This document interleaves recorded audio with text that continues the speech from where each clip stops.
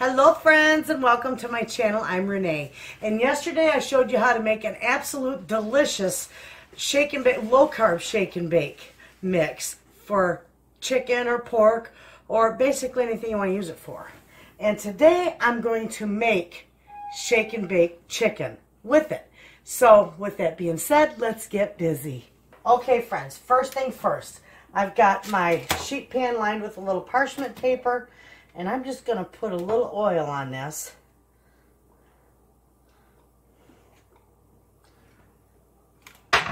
Okay, there is my uh, homemade low-carb shake and bake. And for those of you who might be interested in watching this video, it is a low-carb shake and bake mix using a pork rind panko. And I will put the video link to that up in the uh, up in the top of the video there. Or the description box below. One or the other. You'll find it there. So with that, I've got this in a plastic bag. And I am just going to put a couple of pieces of chicken in here at a time.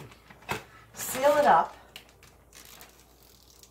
And shake it just like you would regular shake and bake. Make sure it's sealed, otherwise you're going to have a disaster.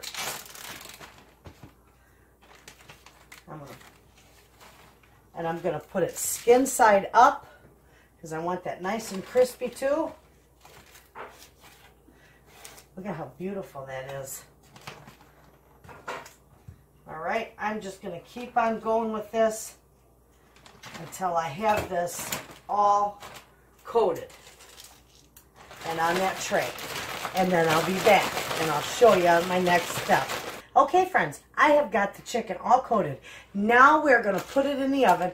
I'm going to bake it at 400 degrees, and I'm going to bake this for about 45-50 minutes. And when this is done, I'll bring you back and I'll show you just how wonderful this turns out. So with this, friends, you can even cut up some potato wedges, shake them in that shake and bake mix, and bake them right along with your chicken.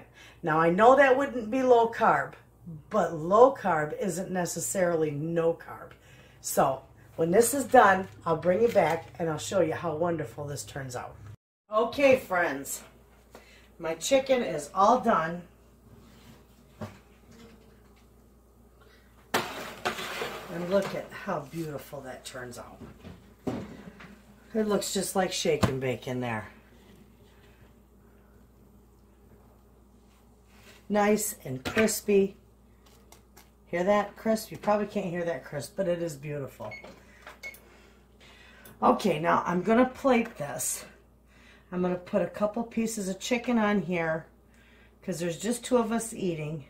And I'm going to put a couple of the baked potatoes on here just so you can see how beautiful that turns out. See that? That nice crispy brown, gorgeous. That's the wonderful low carb shake and bake mix. Give it a try, friends. You're going to love it. And it really is budget friendly. Thanks for watching.